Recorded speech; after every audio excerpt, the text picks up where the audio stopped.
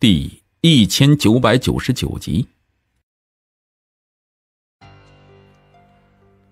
不过这小子应该是没有行医资格证，哈哈哈哈哈！这可是无证行医呀！李远庆突然站住了，大伯，我知道怎么做了。李丽一怔，随即他露出了一副恍然大悟的神色，他嘿嘿一笑，嘿嘿嘿嘿，我这就去办。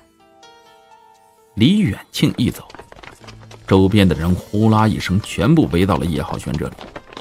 毕竟叶浩轩的医术是得到李家人的认可的，而且看病给钱随缘，有些人就是打着这样的鬼主意。看病排队，挂号一百一位，大病另算。岂料，叶浩轩的一句话，让那些人心中的如意小算盘给戳穿了。其实叶浩轩也没打算在这里挣多少钱，他是医生啊，要是让他那个世界的人知道他在这里摆地摊儿。诊费一百，那还不被人笑掉大牙了？他只是赚点外快罢了，以后的事情以后再说。而且他相信呢，哪怕这个世界是人生地不熟的，他凭着他这一身鬼神莫测的本领，也照样能在这个世界混得开。他看病的速度极快，不过才看了二十多号，他就看到了几个穿着制服的人向着这边张望着走来。而且一旁一辆卫生局的车在那里停着，叶浩轩微微一笑，他就知道，李远庆那个孙子，他就是一个道貌岸然的伪君子。他快速的把手中的方子写好，往一位病人手里一塞，大家稍等，我去一下洗手间。他的摊子也不收拾，就往那里一放，然后转身就走。等那几个穿制服的人过来时，叶浩轩已经消失的无影无踪了。啊，今天这个大半天的收获确实不错，虽然只有几千块钱，但是对于叶浩轩来说够了。啊，这算是启动资金吧。他接下来还要另想他法，毕竟他要在这个世界上生活一段时间。先去买了一部价格便宜的国产手机，然后用临时的身份证办了一张手机卡。在这个世界，手机是必需品，不管是去哪儿都少不了这个。现在最重要的，他要去看看这个世界，自己的奶奶，那个在自己世界从未见过的老人家。叶浩轩买了一些营养品，便踏上了回家之路。按照户口簿上的地址，叶浩轩搭上了一辆公交车，他走到了郊区很远之后，又来到了一个小镇。然后又找了一辆红三轮，红三轮带着叶浩轩七拐八拐走了几十里的路，到了一个村庄的跟前，这总算是到了地方了。这是一个不算太大的小村庄。看了看地图上面的导航，叶浩轩发现这距离 A 市已经很远了。这个地方与 A 市这种繁华的大都市已经完全没有一点关系了。这和普通的农村是没有什么不一样的，而且在村头还有一截泥泞的小路。刚刚下过雨，这段小路上泥泞不堪。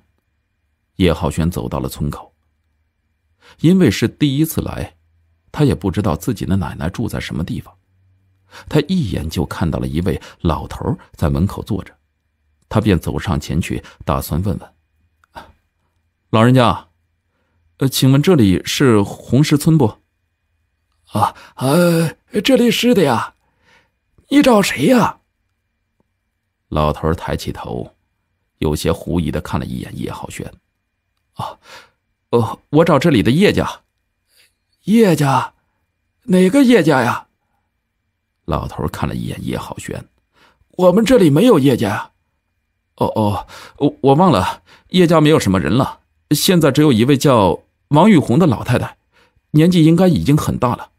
哎呦，你说那个呀？哦，我想起来了，叶家是没有什么人了，只有一个老太太在那里住着。哎呦，你说这叶家也是运气不好，家里的人基本全没了，老太太唯一的孙子也在三年前失踪了。那，他现在在哪里呢？他的身体还算好吗？叶浩轩急急的问：“呃，村子的最北边，两间瓦房就是他住的地方。”老人向北边一指：“哦，他这会儿应该在家。呃，如果不在家，他就是去村西边的桥头了。他几乎是天天去那儿。他去那儿干什么？”叶浩轩不解：“，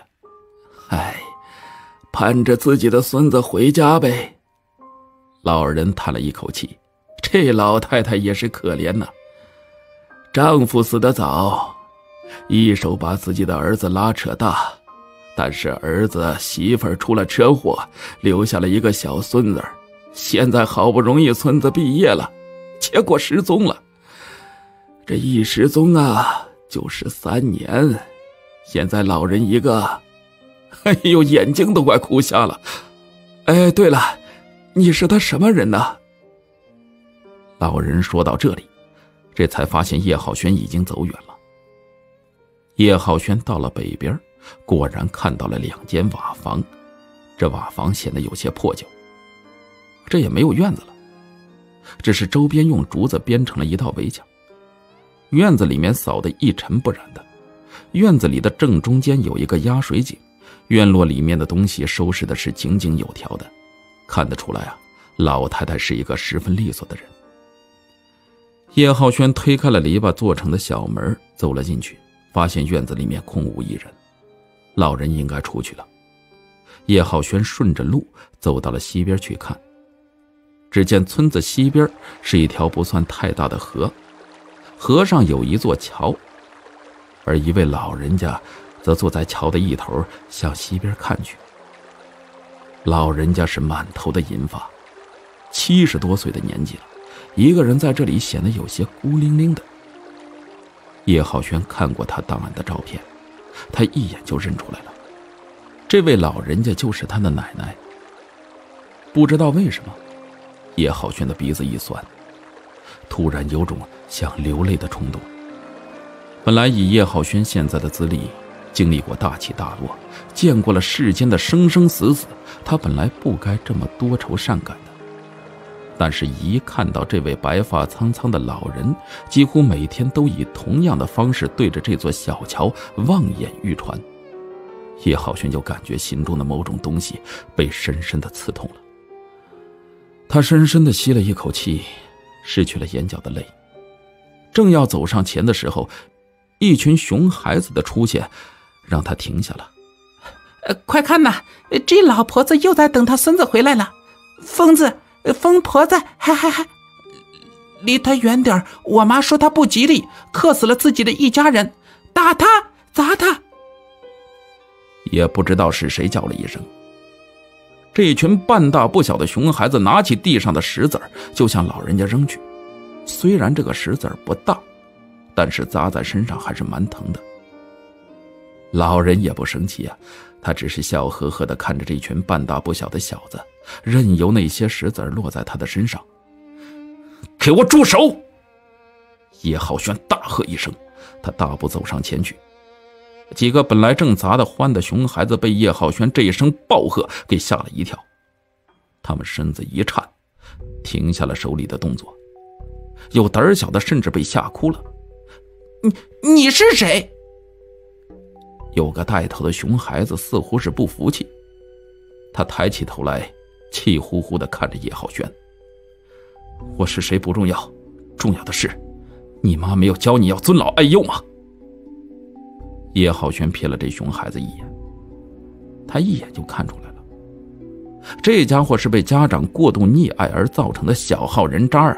如果说这货再这样下去，将来他绝对要被警察叔叔关到监狱里面教训一番的。我妈说过了，这老婆子是不祥人，她克死了自己的一家，让我们不能靠近她。熊孩子不服气地说：“不靠近就不靠近，你滚得远点就是了。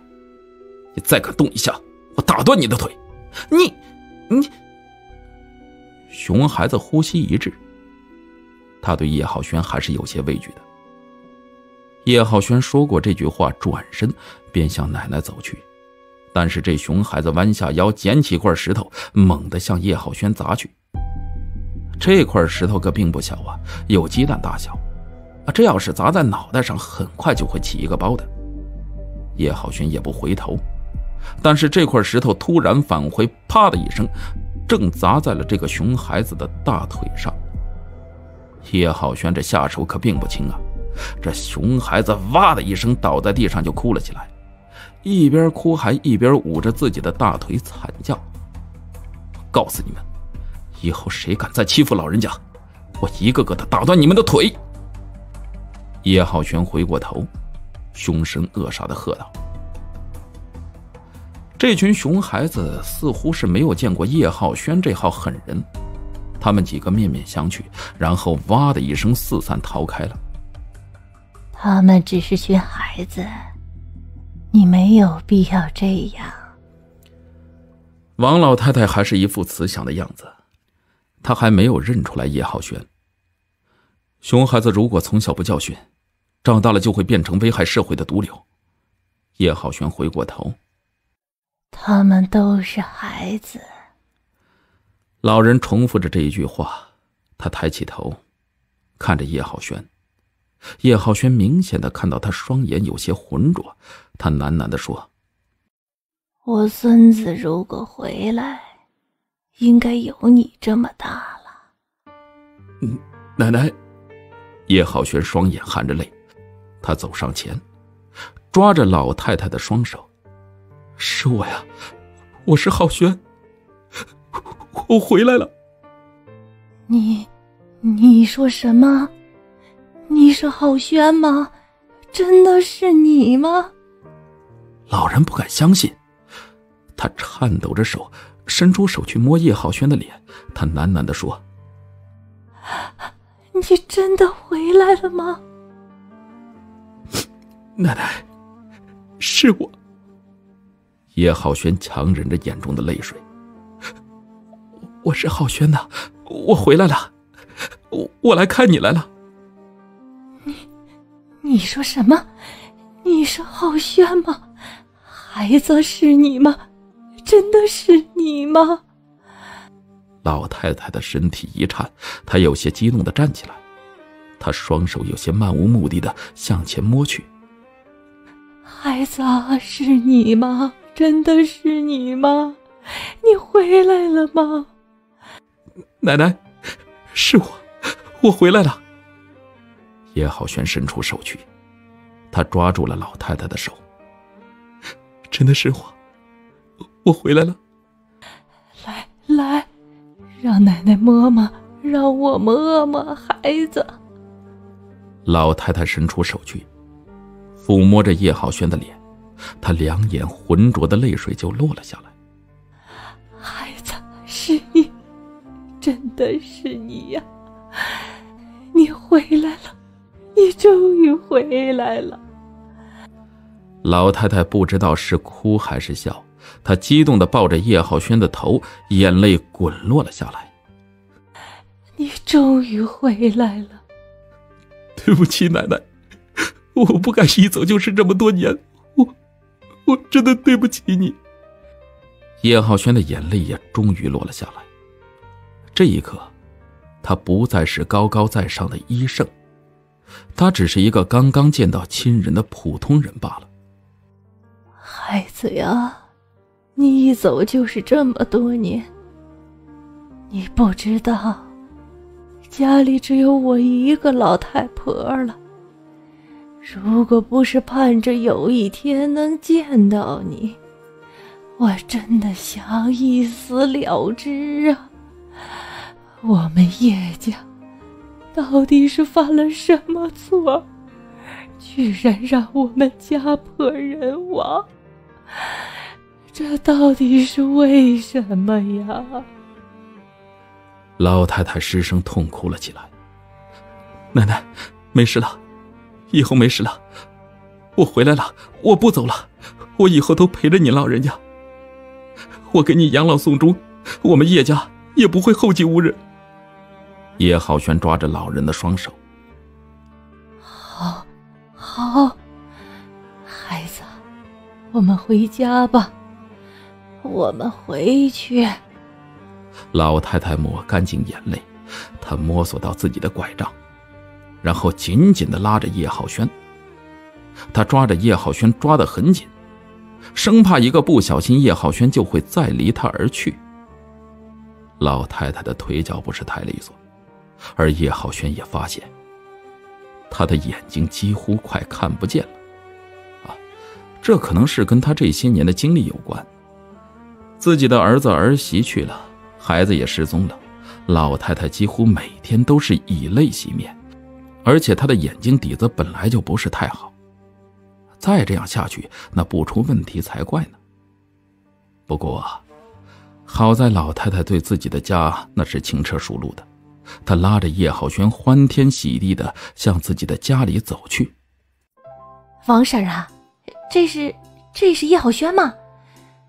哎呦，你大孙子终于回来了，以后肯定要享福了。这些人人前是一套，但是人后又是一套。等叶浩轩和老太太走远，这些人又凑在一起议论纷纷的。这真是叶家那孩子吗？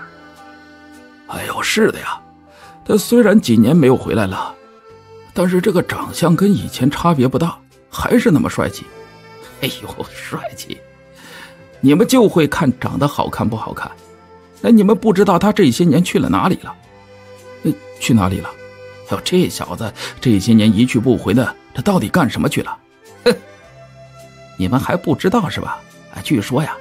这小子以前和一些拐卖人口的人有关系，他说不定，啊，